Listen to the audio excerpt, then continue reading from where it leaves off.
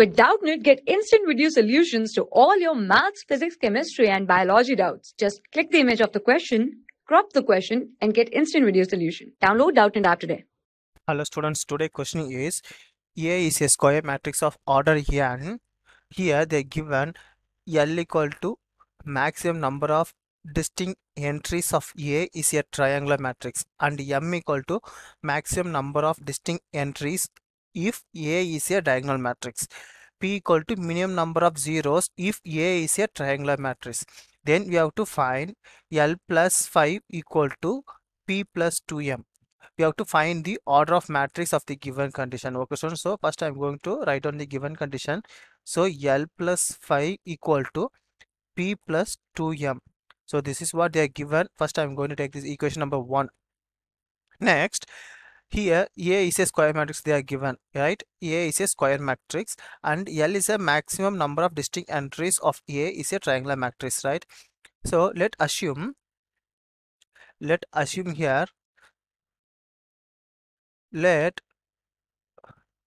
assume all non-zero elements non-zero elements in a triangular matrix non-zero element in triangular matrix are distinct. Functions are distinct. So the maximum value so the maximum number is 1 plus 2 plus 3 up to n. So the maximum value because for one value it is 1 so second row it is 2 so that like that it will go on. Therefore therefore maximum numbers equal to 1 plus 2 plus 3 up to n. Okay so, so here this is value here. Because the first column there is one non-zero element and the second column there are two non two elements. So first column it is one element second column it is uh, two element third column third element like that it's so on. Up to n column it will get n values right? Therefore therefore the l equal to therefore l equal to 1 plus 2 plus 3 1 plus 2 plus 3 up to n which is equal to I'm going to return as n into n plus 1 divided by 2 so this is the L value here. Next I'm going to find the M value here.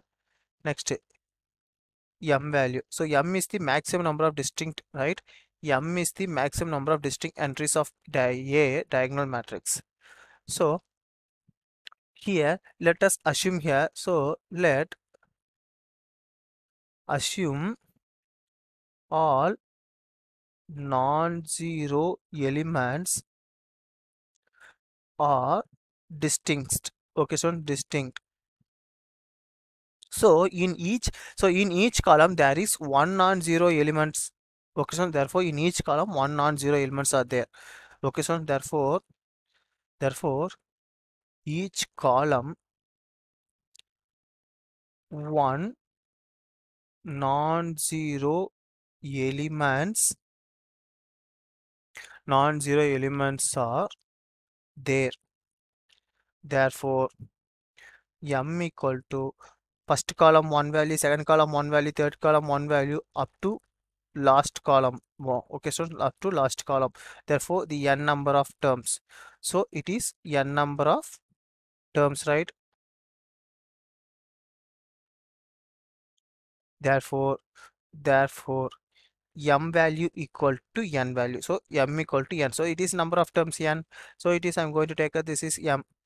Okay so next next value i'm going to take here p value. So p is the minimum number of zero of your triangular matrix. Okay so i'm going to take an p here so p is the minimum number of zeros in a triangular matrix. So let us assume here let assume all elements all elements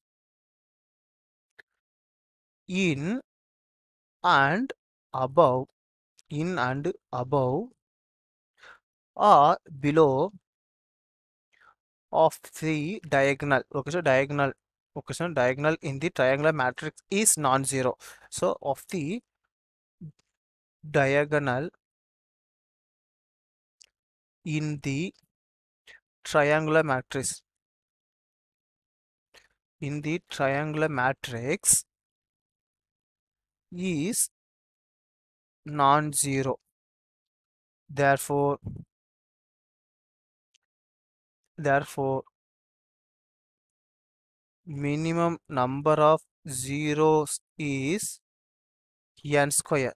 The minimum number of zeros is n square. That means the n square value i'm going to return as n into n plus 1 divided by 2 so this is the value i'm going to take on here. Okay so so sorry this is not the n square it is n square minus 1 so it is total value and then minus 1 total value minus the n term here so therefore this is the p value right? So i'm going to simplify this p value here.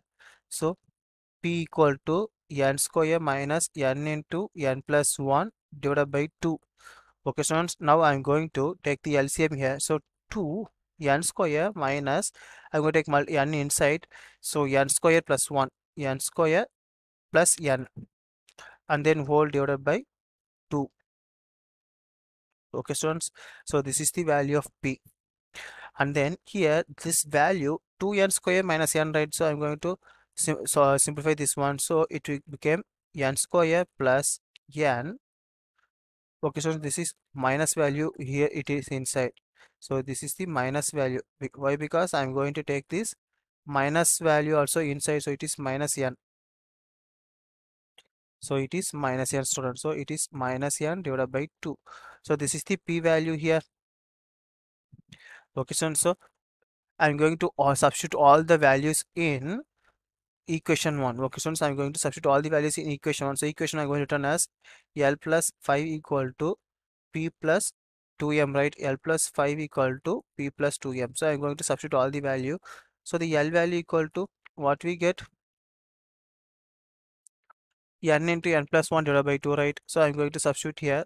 So n into n plus 1 divided by 2 plus 5 equal to p value equal to n square minus 1 divided by 2 plus 2 m value. So m value i'm going to turn as m equal to n. I'm going to substitute here. So n. Okay students. Now i'm going to solve all the values here. Okay students. So here i'm going to multiply this n inside. So n square plus n. Here take lcm here plus 10 n square plus n divided by 10 divided by 2 which is equal to here i'm going to this value is n, n square minus n right? So i'm going to take the lcm here. So n square minus n plus 4n divided by 2 so denominator 2 2 cancel here same value. So i'm going to cancel this one. And then here n square plus 10 8 n square plus n plus 10 which is equal to n square here minus n plus 4n so value equal to plus 3n here n square n square cancel here. 1n and 1n will cancel so 2n is there. Therefore 2n equal to 10 right?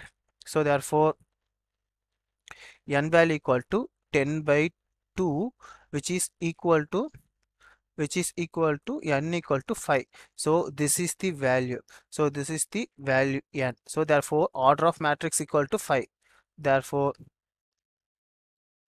order of matrix equal to 5 okay so therefore if we see here the order of max is or uh, matrix of this uh, given condition is 5 okay students thank you.